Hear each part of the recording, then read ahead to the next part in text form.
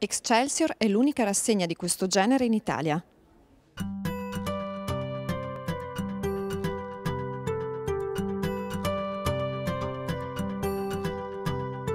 Focalizza l'attenzione sulla pittura italiana del tardo Ottocento, con piccole incursioni nell'arte del primo Novecento, tra avanguardie e persistenze e si pone come prestigiosa vetrina per raffinate opere d'arte.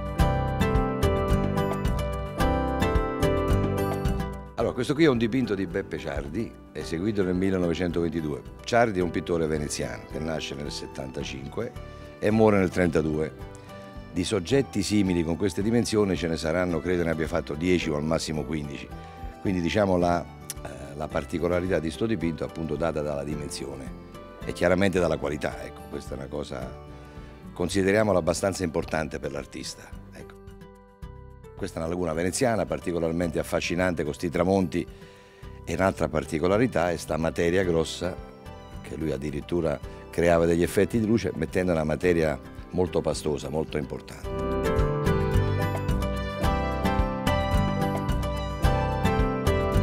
Questo qui è un dipinto di Luigi Nono. Luigi Nono è uno dei pittori più importanti dell'Ottocento veneziano e nazionale, addirittura oggi anche internazionale.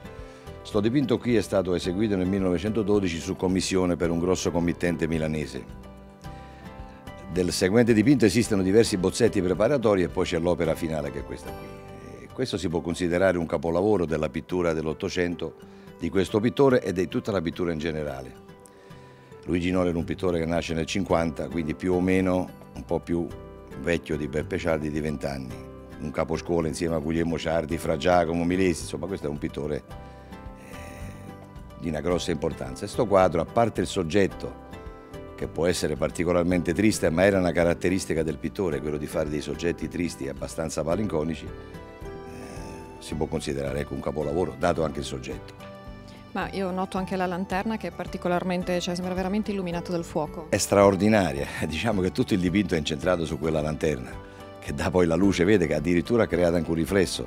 Purtroppo eh, sarebbe necessario dargli una pulita perché c'è tutta una patina di ossido del tempo, quindi questa patina di ossido diciamo che eh, falsa un po' i colori, qui ci sono dei verdi straordinari, dei colori che una volta puliti tirano fuori, cioè danno tutta la bellezza al quadro come era in origine. Ecco.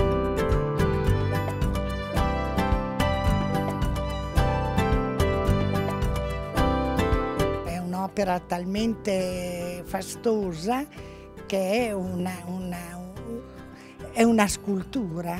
Ecco, questa è una scultura, è Venezia, l'epoca è la prima metà Settecento, siamo ancora nella prima metà Settecento, in lacca veramente un pezzo straordinario, nel suo genere è un pezzo unico, pubblicato sulle lacche veneziane del Settecento, sì, proprio per la, la rarità dell'oggetto.